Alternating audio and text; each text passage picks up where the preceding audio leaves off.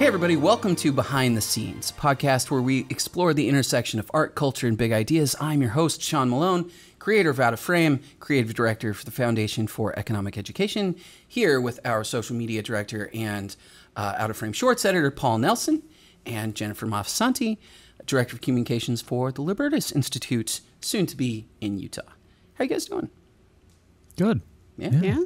Nice. It's a great day. It is. It's actually not a bad day. It turned right now. into a lovely day. It's uh we we've not experienced like the tremendously bad weather that November can can result in so Yeah. far. Soak this in, Jen. We're gonna soak this in a little bit. I know you're gonna Oh, it's snowing in Utah. yeah, you're gonna get uh, drenched in in snow and to be fair, also beautiful landscapes. So there is that as well. Yeah. You know, trade offs. We are- have trade-offs. we have trees. We do have a lot of trees. You yeah, Georgia has way more trees. and I do like that, but uh, I'm, uh, you know, Utah has big, big old mountains. fewer mosquitoes though. Oh, that'll be benefit for sure. Yeah, but you don't have the Chattahoochee. No. Yeah, I feel like once we start comparing the natural landscape of Georgia to You know what's Utah, so surprisingly moving down here?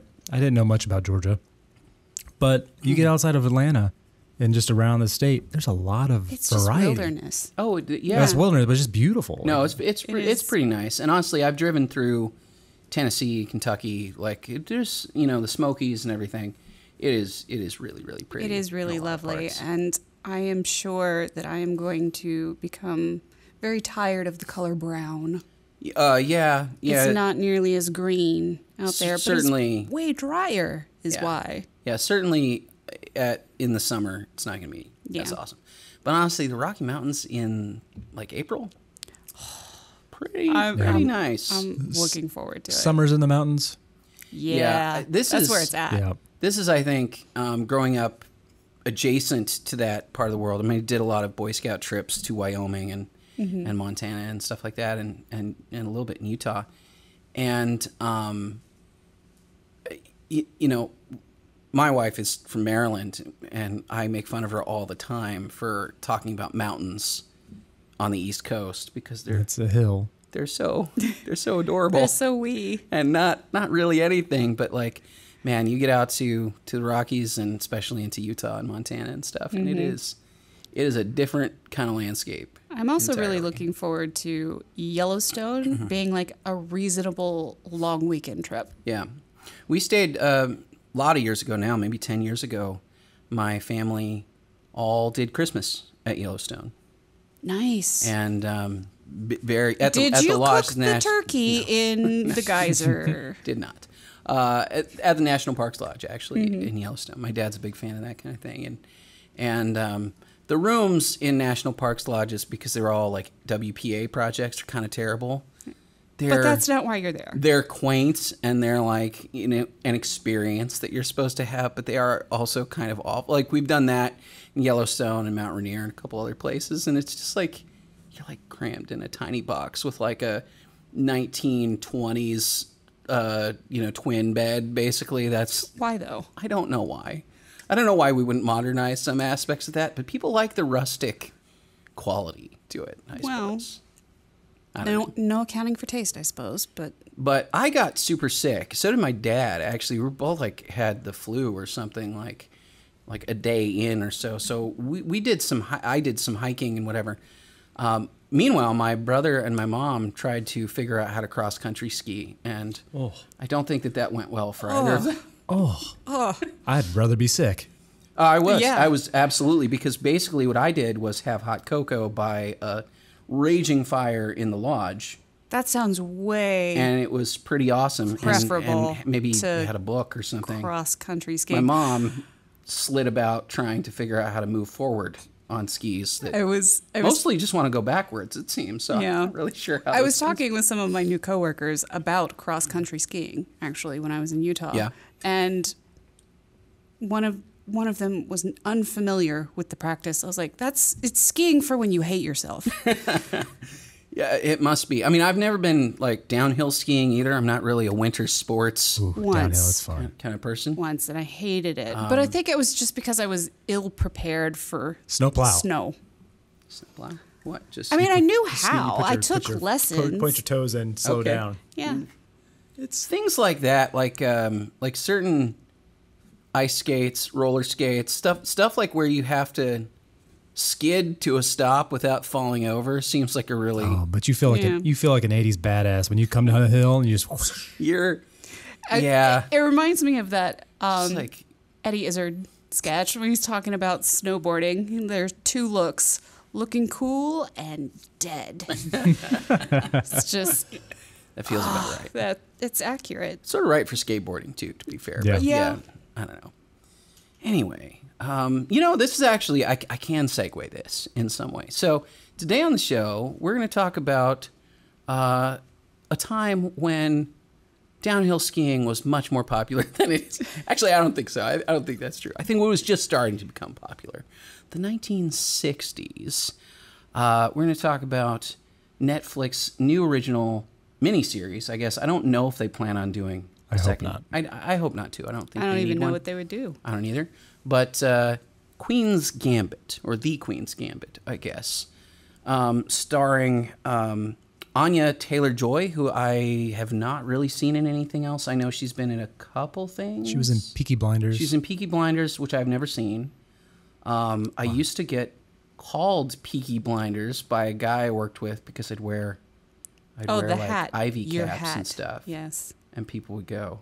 Hmm. One guy, hey Peaky Blinders. I mean, I don't know what you're talking about. what a clever dude. Yes,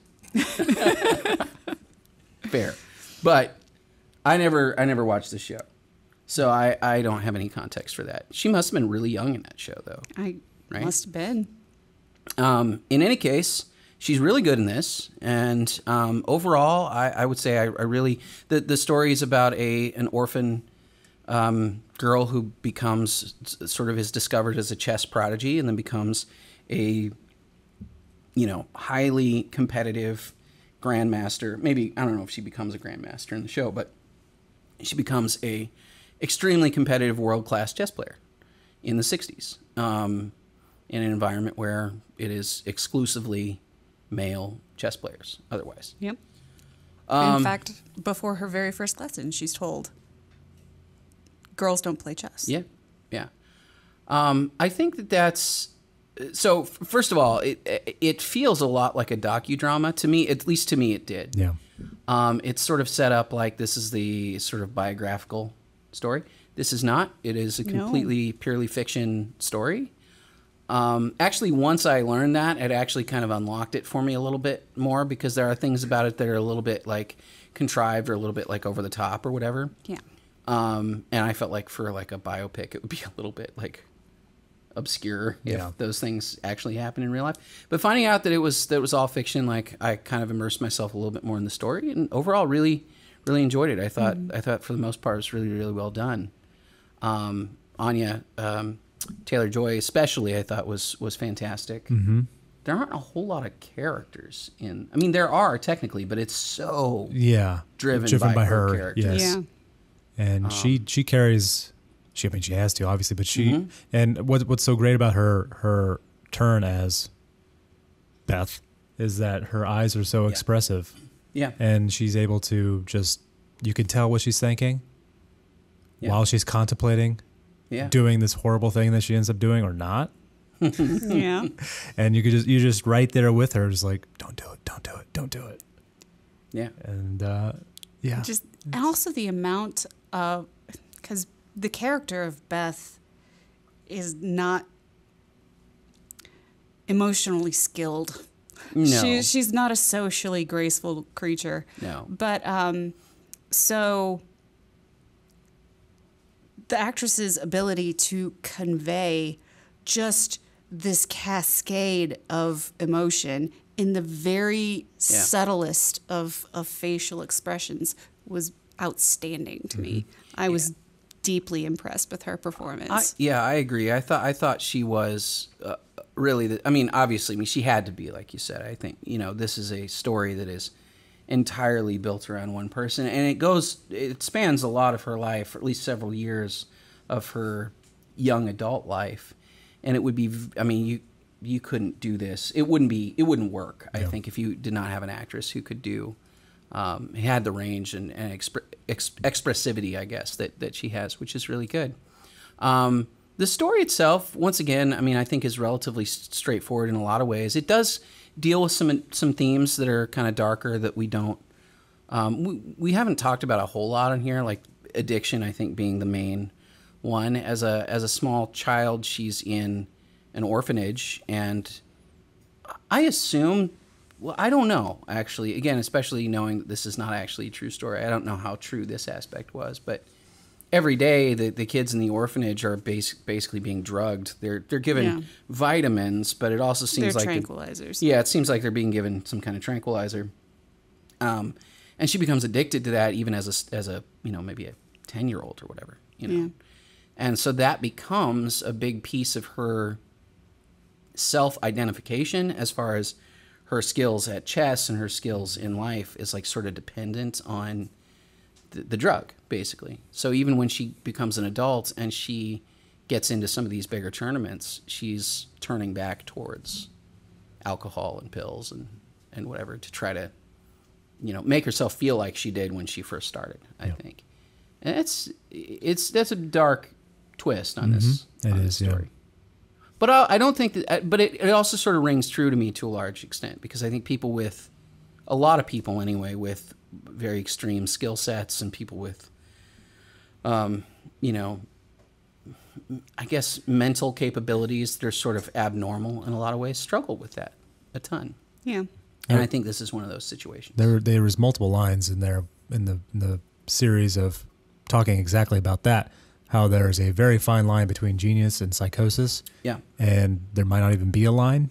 Yeah. If you're just a genius, you're kind of crazy. Mm-hmm. So it, it really plays Well, with those themes and and and not only the the mental skill aspect of the genius, but the obsession Yeah. with the sport and with Yes. becoming the best and becoming better and and all of that. I think I think that's why not to not to get out of this too much, but it's it's why I actually really like the movie La La Land, and I know that's kind of um, not it's not everybody's favorite favorite movie. Um, but one of the things I really liked about that movie is how deeply it explores, and Damien Chazelle explores this a lot also in Whiplash too. But this idea of obsession driving mastery of of a artistic medium, you know, in this case a game, but same, right? Like, and I think part of a lot of her social ineptness comes from that obsession Yeah. as well. Although I do think it's there's a moment. I don't know. I want. I don't know how graphic I want to be on the on the show here, but like, she, uh, she is with a guy, who is a very nice guy, and then they're in bed, and after, you know, she just ignores him. Immediately goes right back to like reading chess books. Yep. Same thing happens to her later, and she gets offended by it, which I was Yeah. like, well, that is completely lacking in self awareness. Mm-hmm. uh, turntables. yeah. So, um, you know, but it's interesting because a lot of the characters in and out of her life are various stages of obsession with the game. You know, some, um, you know, much much more so, um, and then some, you know, really not at all. And and and how they interact with her, you know, as like a casual chess player versus like, you know, some of her competitors Yeah. you know, com- completely different. Um, yeah. Any thoughts on the series I, overall? Yeah, I thoroughly enjoyed it. I, other than some of the language and some of the the uh, scenes like you were just talking about, I could e- easily have seen this on a network Yeah. TV station, maybe in PBS Yeah. 15 years ago. And I think it kind of speaks to what Netflix is doing across the board, where it's not just these just outland like Orange is Orange is the New Black, mm-hmm. House of Cards. They're really moving into every single genre, from terrible Adam Sandler movies to made for TV dramas like this, and reviving the rom com. They are Man, reviving the rom com has been a surprise Yeah. for the last couple years. And so that's one thing I do appreciate about Netflix. One of the few things I appreciate about Netflix is that they actually are trying to give room to people to, to explore these things that Yeah. have been dead for a while. I, I appreciate that too. And, you know, you, you brought up the rom com thing. I think stuff like Crazy Rich Asians, which, um, I don't know that any studio that I would have. I mean, I think ten years ago, I just don't even think something like that would have been made because I think the rom com was kind of dead. Mm-hmm. First of all, and plus it's it's sort of niche in a way, or or it could be sort of niche, and yet it's super funny and it's a really really great movie. But it's um yeah, I'm I'm surprised by that too. I think you're right there, and and sci-fi too. I mean, I think Yeah. there's a lot of uh, stuff like, um, you know. Uh, um, Orphan Black and whatever, you know, And Stranger Things, Stranger many Things, and yeah, Spawned so many different shows just Yeah. because Stranger Things worked. yeah, for sure. Um, so th- the only analog I could find in the real world, I mean, there are there are a few female chess players that that have been, you know, even in the as early as the 1920s, I guess. Actually, there were few. Um, I, I I haven't found much in the way of like really very famous or very popular ones. Uh, Judith Polgar is, and I don't know if I'm saying that name right. She's a Hungarian chess player. Um, she's still fairly young, actually. I think she's in her 50s maybe now, um, but became a grandmaster at like 15 Oh, who I believe was the first. I think that's the youngest. Uh, she beat Bobby Fischer actually out at being the youngest ever uh, grandmaster in chess, and she uh, succeeded in a lot of. and She she was victorious against a lot of um, you know really high profile grandmasters as well. Um, but she never. I mean, so li- like the the Beth character in, in Beth Harmon in the Queen's Gambit is. Uh, I mean, she's on a whole different level. I mean, she's like she's world champion. I think yeah. at the end of the at the end of the series, and um, I don't think anybody has has done that. Um, but so I wonder. It, it, there's a couple things that we could talk about with this. Um, one, I think, is just the, the sexism of the era and, and all of that, the aspects of that that kind of played a role in in all of this. The other thing too is that most of her primary challengers are Russian, and it does something. Actually, has always bothered me a little bit. It it happens in Miracle as well in the um, Disney hockey movie Miracle, where it it sort of gives a pass to communism a little bit in a way that I don't think it deserves. And well, never a big deserves pass a pass. in this. There's a lot of big passes in this, but uh, so Miracle does this too, where it basically says the Russian players work better as a team, as if because they're communists or whatever, they're Right. they're more selfless and they're more the new socialist man kind of thing. Whereas the American players Whereas the prefer Americans, to they're be individualists. rugged individualists Right. when it comes to their chess tournaments. right when it comes to their chess or their hockey right like where you're literally playing on a Team team, sport. where it's a team sport i find that to be irritating for a couple reasons one because it cuts against human nature that that is across all cultures it, it does not part of the whole thing that doesn't work with all that stuff is that the the idea that you could change the system and then create a new kind of human was never true and it didn't materialize. The, the new communist man, the new socialist man did not emerge from these systems. In, instead, everybody was just made tremendously poor and corrupt, and everything went really, really badly. The other thing, too, and this, at least Miracle does get into this, is that part of the reason these guys played so hard was because they would get shot and killed Incentives. and sent to a gulag if they did not perform well. Mm-hmm. Absolutely. Like these are the these are the elite of the Soviet Union. They are the best at what they do, and they are identified very early Yeah. Um, for having these oh. talents. And then that is all that they are allowed to do For their entire lives For their whole lives. Yeah. And so that's why they get the privilege of traveling the world and competing against people in other countries to put forward that positive face, right. that victorious face of the Soviet Union on the world stage. Well, and and one thing that the early on in the series, and again they just don't come back to it, is is Beth asked I forget who she asked, but she asked somebody, one of the people that she's with at one of her first tournaments. She's like, "Well, who are those guys?" Um, talking about um, um, uh, what's what's the name? Um, uh, Borov, the the, the Borgov? yeah, Borgov, the uh, Russian grandmaster that is sort of her.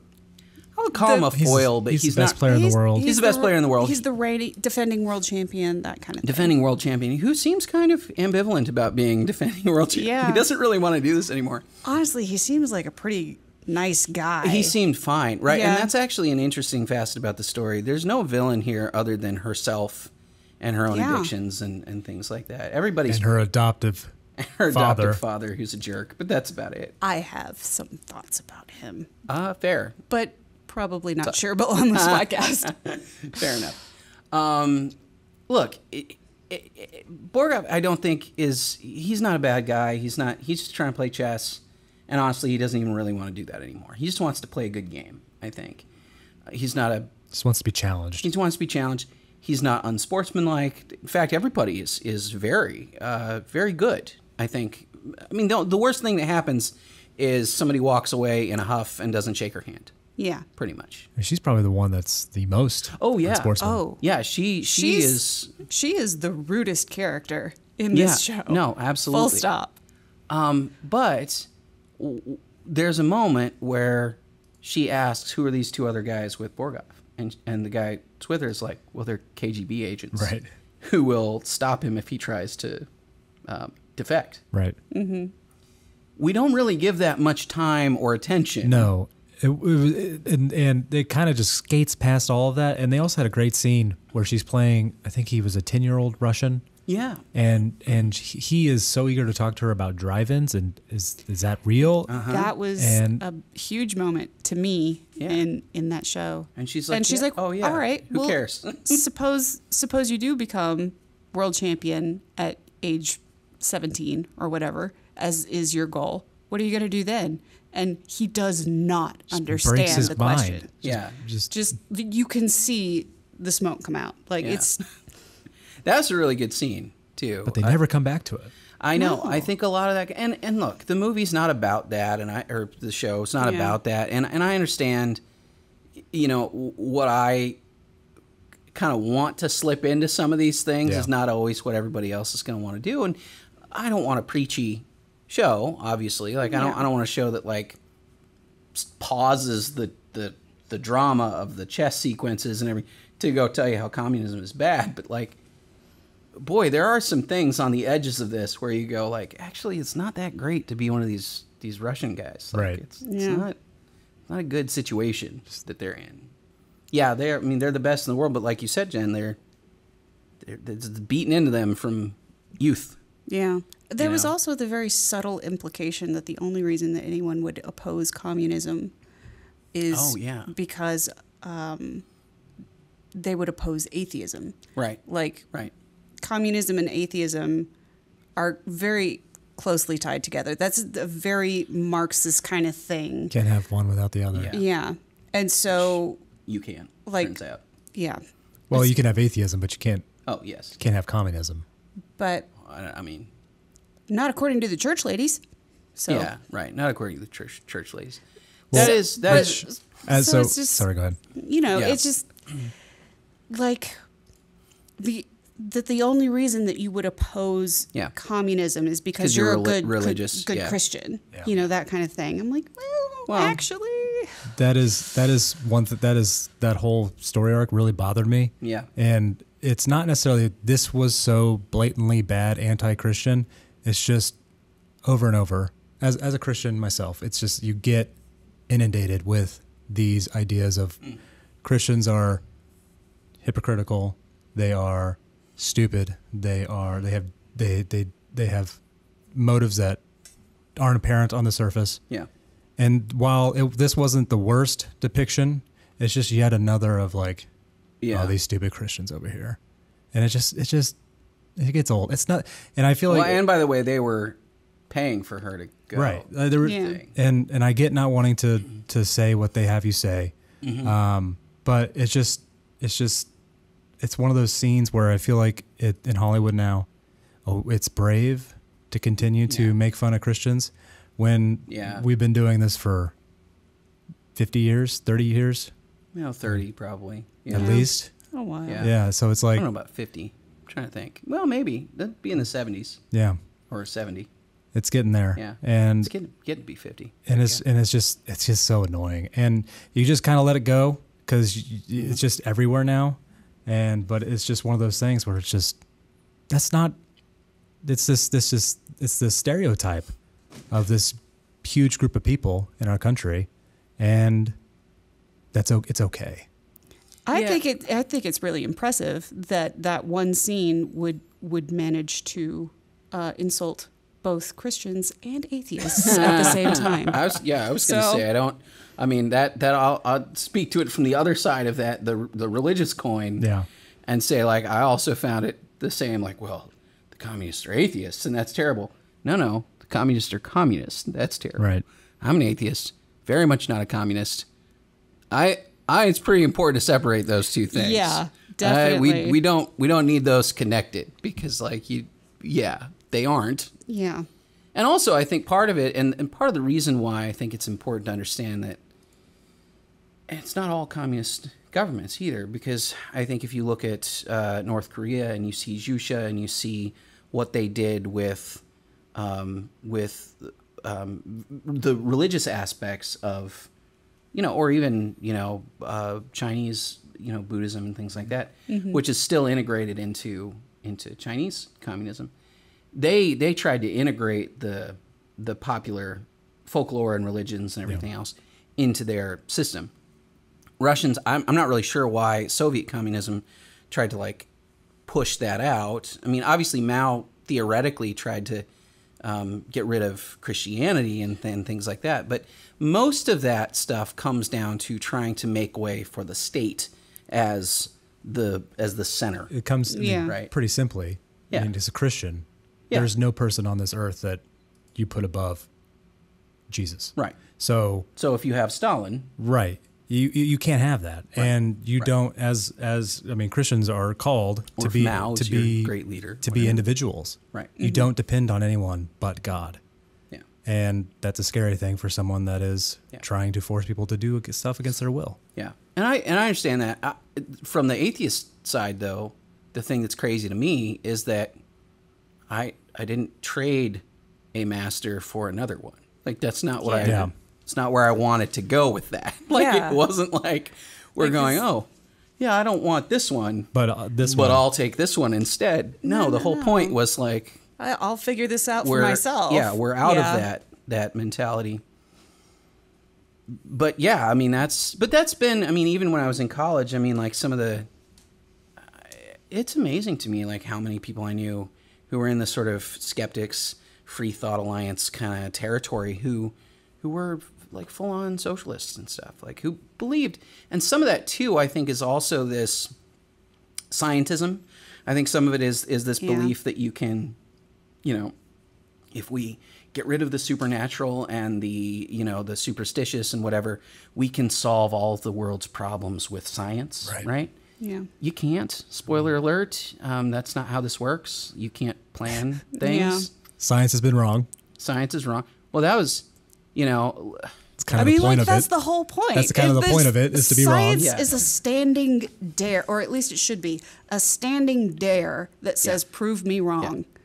that's where I think a lot of what we see even now, the calls for sort of technocracy and like sort of rule by experts and stuff like that, is really, really disconcerting to me because Yeah.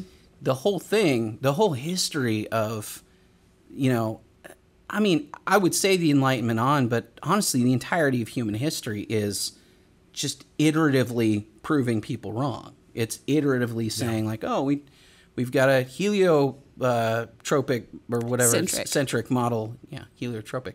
That'd be funny. No, heliocentric model of Sounds the horrifying. mo- model of of the universe.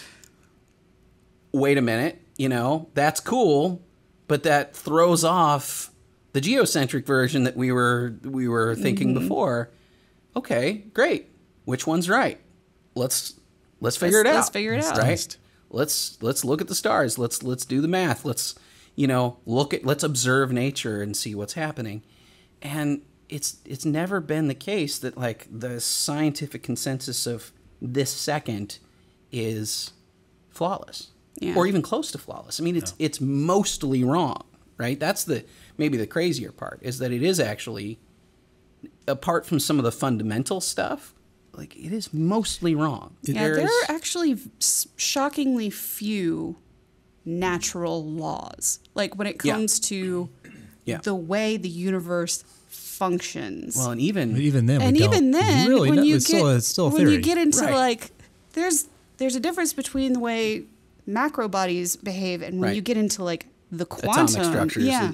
it is it is nuts. I mean that that stuff is weird too because you you go there are things brain that we- bending. yeah, there are so many things that we rely on as constants, right? Speed of light, gravity, you know, as a force or whatever. First of all, gravity is also dependent on how far away you are from a, from a body, you know, a, a- and what other mass. bodies may exist around you. And, and- yeah, so there's actually oh, all these other things. So you might go like 32 feet per second is like the, the gravity, the pull of gravity. Mm-hmm.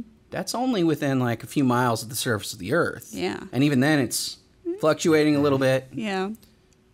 So it, It, the minute that you dive into this in a much deeper way, it doesn't hold up. it, it's it starts to go, oh wait, this is way Right. more complicated than what's I thought. what's really go ahead. Um, like I understand the purpose that religion serves for Yeah. most people. Yeah. Um, it's something to that that belief that there is a there is a higher power Mm-hmm. than you can be extremely comforting and I'm not saying that that's why everybody believes what they believe. I, I want to make this very, very clear. But from a human psychology standpoint, that is one of the big purposes that religion serves. And when you take away the divine from that factor, Yeah. from that equation, people will naturally tend to replace the divine with something else, whether it's science or the state or what have you. I think that there is some truth to that, in, in especially in the sense that people tend to. Again, I don't want to say this in like. I don't think I don't think of this even in an insulting way. I just think of it in a sort of a positivistic, like this is just a fact about the world kind of way.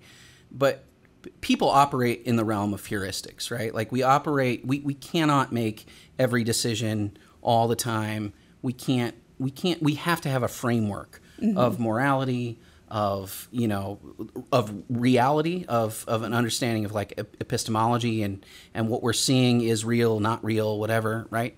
All of those things, metaphysics, I mean, all you have to start somewhere with that mm-hmm. stuff because you you literally can't go through life and make a unique decision in every single situation.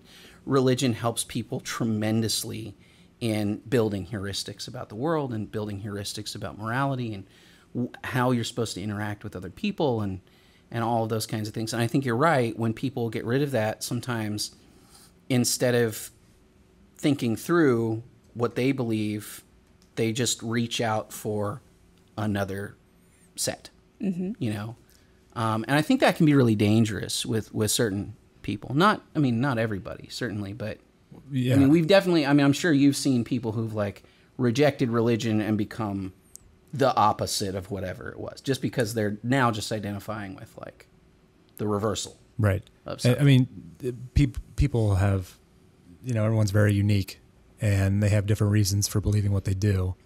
Um, yeah. But what I think what's what's interesting about our point in time right now, with it's a scientific consensus, is like it's basically back when this the Pope said it, so it's true. Yeah. yeah. Um, Yeah. and and it's it's weird because we the people we that also see that with the state too. no mm-hmm. yeah and, and Yeah. what's what's weird for me is is that these people that usually say this are usually not religious. Yeah. Yeah, I, I have mm-hmm. noticed this as well. Like, there's a lot of people who make strong claims about Christians or about whatever, who are invariably not, Yeah. which is kind of funny to me. Like, I, for me, I, you know, I used to be a lot more sort of militant when I was a kid. And because I've, I've been an atheist pretty much my whole life.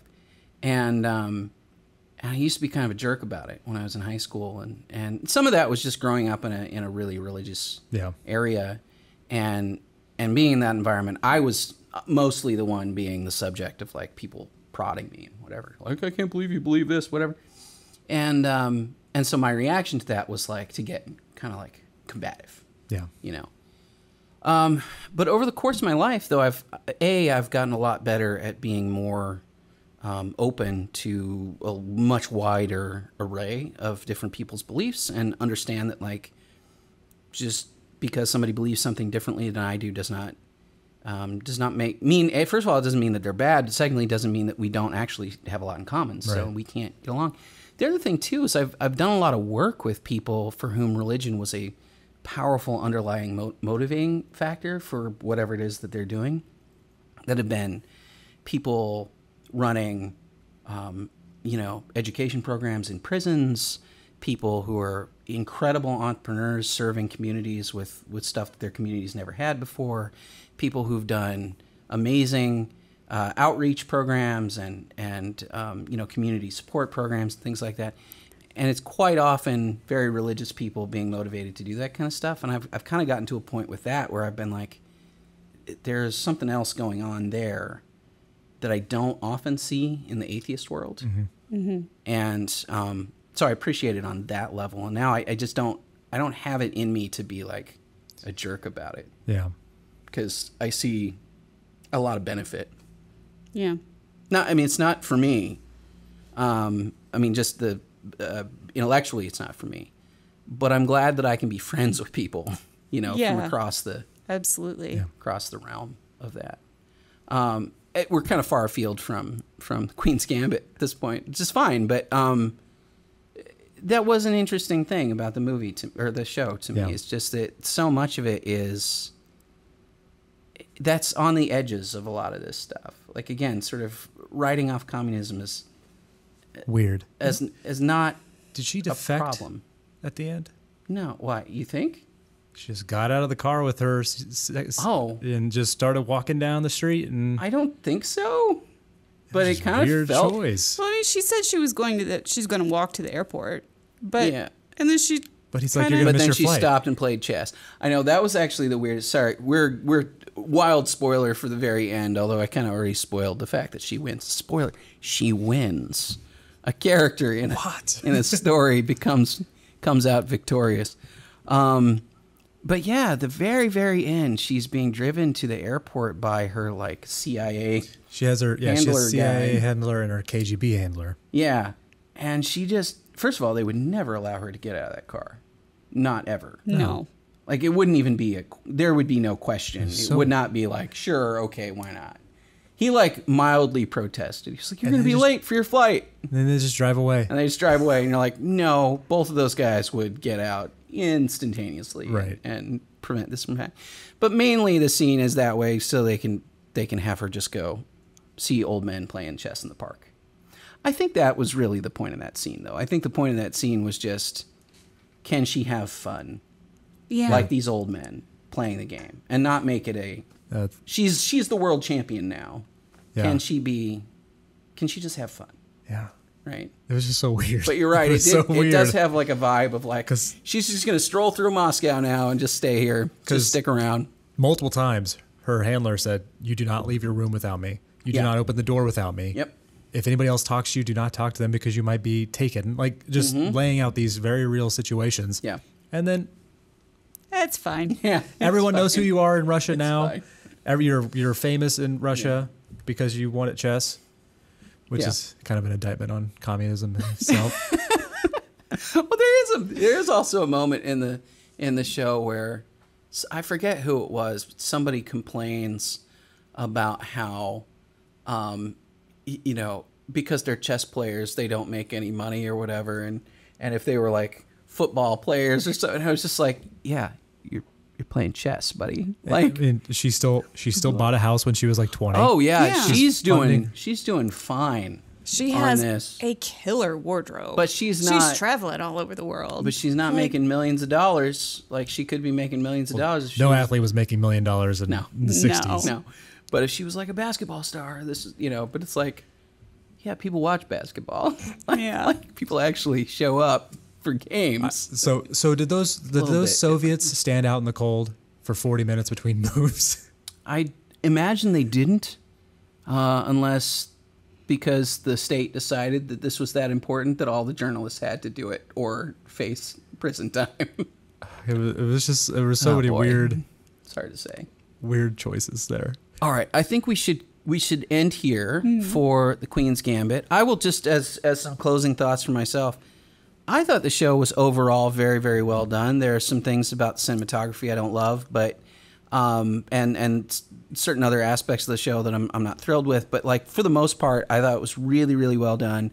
I was engaged pretty much the whole time. I know you thought it started a little slow, but I, I think for the most part, I would highly recommend this. I think if you're looking for something that's a good weekend uh, binge, you know, three day binge, this would be a really good one to do. Um, Jen, final thoughts? Yeah, I agree. I, I enjoyed this show immensely, more than I thought I was going to after the end of the first episode. And yeah, I, I liked it. Paul? Yeah, I totally agree. It was this is the most interested I've ever been about chess in my entire life. It- Yeah. Netflix is making chess great again. Terrible. All right. Well, for the majority of you, thank you so much for watching or listening to this episode, however you are consuming it. For those who are our patrons, uh, and if you want to be a patron, it's patreon.com slash out of frame show. But for those of you who already are patrons of the show, please stick around and we are going to have another kind of tangential discussion on net. Uh, it's not actually Netflix, it's HBO Max. Max To the max. to the max. The Witches, which really we wanted to do just because they're new releases for the for the first time. It's actually new content, so we wanted to kind of talk about both. Um, but uh, we have a lot to say about the Witches. Not a lot of it is great. um, but uh, but please stick around and check that out. For everybody else, please uh, f- find us on YouTube, um, find Out of Frame on YouTube, and also check us out on Instagram and Twitter. And we will see you next time.